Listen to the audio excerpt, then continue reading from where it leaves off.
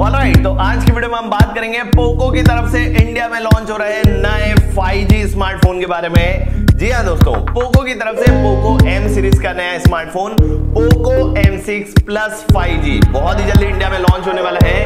ये जो स्मार्टफ़ोन है BIS पर ऑलरेडी लिस्ट हो चुका है।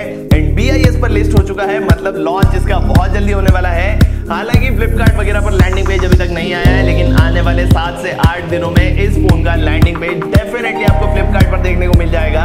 तो आज की वीडियो में बात करते हैं पोको M6 प्लस से जुड़ी सारी चीज़ों के बारे में। क्या तामझाम आपको मिलेगा, क्या माल मसाला मिलेगा, क्या स्पेक्स होंगे, क्या फीचर्स होंगे प्राइस पॉइंट क्या होने वाला है, सारी चीज़ें आपको बताऊँगा।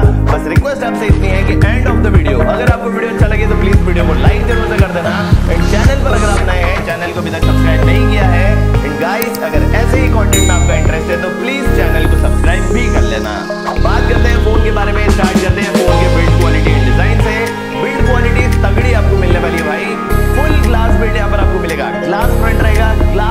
आपको मिलेगा, प्लास्टिक का फ्रेम रहेगा, फ्लैट एजेस आपको मिलेंगे। फ्रंट में आपको कॉर्निंग गोरिल्ला ग्लास थ्री का प्रोटेक्शन देखने के लिए मिलेगा। बिल्ड क्वालिटी आपको सॉलिड मिलने वाली है प्रीमियम बिल्ड क्वालिटी रहेगी। एंड साथ ही साथ IP53 की रेटिंग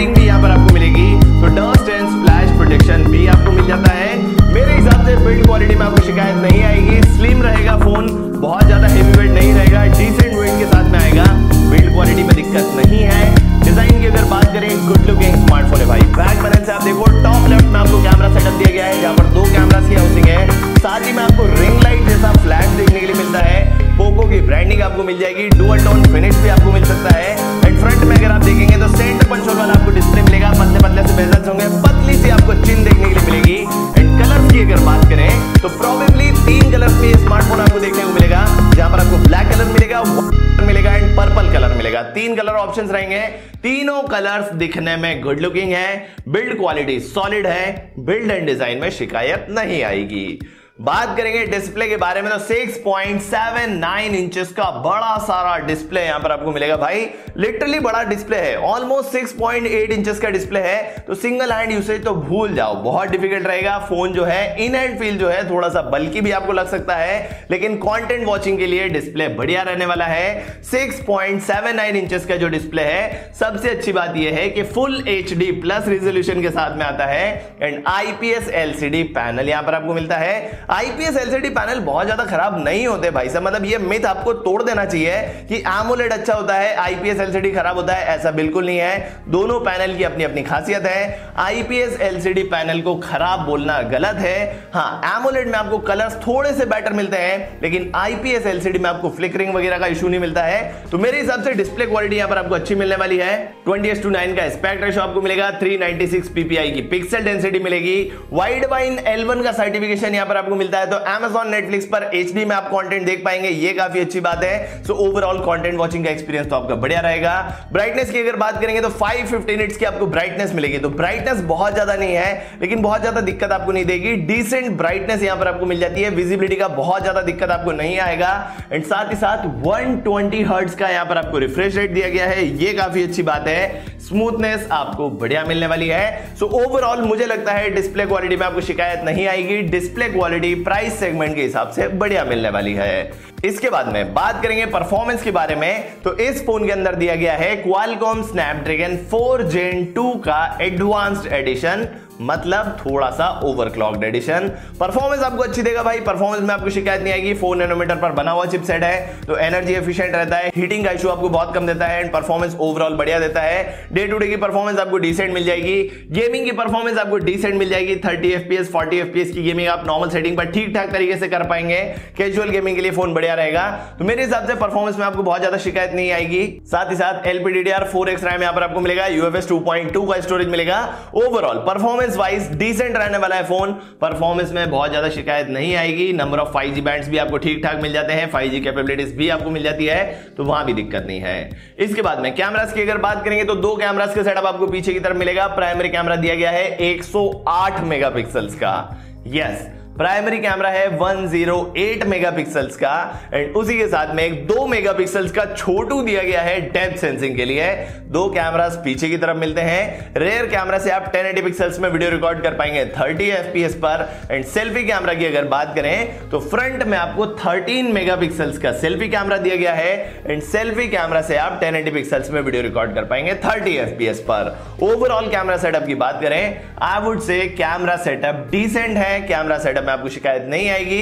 स्पेशली इस सेगमेंट में आपको 8 मेगापिक्सल्स का जो सेल्फी मिलता है, वो मुझे थोड़ा सा कम लगता है, लेकिन यहाँ पर आपको 13 मेगापिक्सल्स का जो सेल्फी कैमरा दिया गया है, मेरे हिसाब से अच्छी परफॉर्मेंस आपको देगा।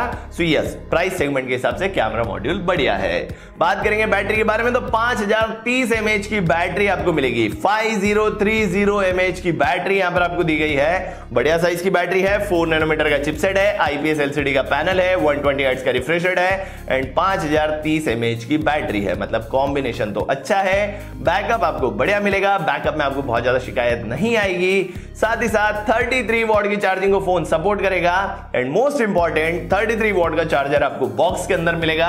तो मेरे हिसाब से बैटरी मॉड्यूल तो सॉलिड है भाई। मतलब बैटरी का साइज़ अच्छा है। बैकअप आपको अच्छा मिलेगा। चार्जिंग स्पीड बढ़िया मिलती है। चार्जर इनबॉक्स दिया गया है। तो बैटरी मॉड्यूल में शिकायत नहीं आएगी, बैटरी मॉड्यूल बढ़िया रहने वाला है। चार्ज करने के लिए टाइप सी वाला पोर्ट मिलेगा 3.5 पॉइंट mm जैक ऑब्वियसली यहाँ पर दिया जाएगा। सिक्योरिटी प्राइवेसी एंड सेंसर्स की अगर बात करें साइड माउंटेड फिंगरप्रिंट स्कैनर रहेगा फेस अनलॉक ऑप्शन आपको मिलेगा। छुटर पुटर इधर उधर के सारे सेंसर्स आपको मिलते हैं इंक्लूडिंग आईआर ब्लास्टर तो सेंसर्स में आपको कमियाँ नहीं मिलेगी। सॉफ्टवेयर की बात करेंगे एंड्रॉइड 14 पर आपको फ़ोन दिया गया है out of the box latest Android version यहाँ पर आपको मिलता है। साथ ही साथ हाइपर ओएस यहाँ पर आपको देखने को मिलेगा, जिसका एक्सपीरियंस आपका बढ़िया रहेगा। हाँ प्री लोडेड एप्स आपको मिलेंगी ब्लोटवेयर आपको मिलते हैं, लेकिन उनसे आप छुटकारा पा सकते हैं। लेकिन ओवरऑल जो सॉफ्टवेयर का एक्सपीरियंस है फीचर रिच रहता है एंड सॉफ्टवेयर में आपको ज़्यादा शिकायत नहीं आएगी अपडेट्स भी आपको प्रॉपर मिल जाएँगे। बात करेंगे स्पीकर के बारे में तो स्पीकर तो यहाँ पर नहीं दिए गए हैं। स्पीकर आपको मिलते हैं, वो भी सिंगल बॉटम फायरिंग स्पीकर दिए गए हैं। लाउडनेस आपको बढ़िया मिल जाएगी लाउडनेस की शिकायत आपको नहीं आएगी। लेकिन ट्यूनिंग आपको उतनी बेटर नहीं मिलने वाली है। तो स्पीकर वाइज डिसेंट स्मार्टफ़ोन रहने वाला है। एंड कार्ड स्लॉट की अगर बात करें तो हाइब्रिड कार्ड स्लॉट यहाँ पर आपको दिया गया है। मतलब दो सिम कार्ड आप लगा सकते हैं, या फिर एक सिम कार्ड निकाल करके मेमोरी कार्ड आप लगा सकते हैं। ओवरऑल अगर स्पेसिफिकेशन देखे जाए स्पेसिफिकेशन डिसेंट है भाई। रिसेंटली इंडिया में Redmi 13 लॉन्च किया गया है। वैसा का वैसा पोको M6 प्लस रहने वाला है। वेरिएंट्स की अगर बात करें तो दो वेरिएंट्स में फ़ोन प्रॉबेबली इंडिया में लॉन्च होगा। 6 प्लस 128 एंड 8 प्लस 128 6 प्लस 128 का इंडिया प्राइस रहेगा twelve thousand four hundred and ninety nine rupees and eight plus 128 का प्राइस रहेगा 14,999 रुपीस दोनों वेरिएंट्स पर एक एक हज़ार का कार्ड डिस्काउंट आपको इंट्रोडक्टरी ऑफ़र में डेफिनेटली देखने को मिलेगा। इफेक्टिवली बेस वेरिएंट आपको मिलेगा eleven thousand four hundred and ninety nine rupees का and eight plus one twenty eight आपको मिलेगा thirteen thousand nine hundred and ninety nine rupees का। बहुत ज़्यादा डिटेल में इंफॉर्मेशन मैंने आपको दे दी भाई साहब। प्राइस पॉइंट भी मैंने तकरीबन आपको बता ही दिया है। तो अब आप मुझे कॉमेंट करके बताओ कि आपके क्या विचार है इस फ़ोन के बारे में। कैसे स्पेसिफिकेशन क्या ये स्मार्टफ़ोन आप खरीदना पसंद करेंगे? खरीदना पसंद करेंगे तो क्यों खरीदना पसंद करेंगे? नहीं करेंगे तो क्यों नहीं करेंगे? कॉमेंट करके करके अपनी राय ज़रूर से बता देना। वीडियो अगर अच्छा लगा है तो प्लीज़ वीडियो को लाइक ज़रूर से कर देना, अपने दोस्तों के साथ शेयर कर देना। चैनल को अगर आपने अभी तक सब्सक्राइब नहीं किया है तो प्लीज़ मेक श्योर कि आप चैनल को सब्सक्राइब करें। बेल नोटिफिकेशन आइकन को प्रेस करें ऑल वाला ऑप्शन सिलेक्ट करें ताकि हमारे फ्यूचर वीडियोस के नोटिफिकेशन पहुँचे आपको तुरंत से। This is Yash signing off bye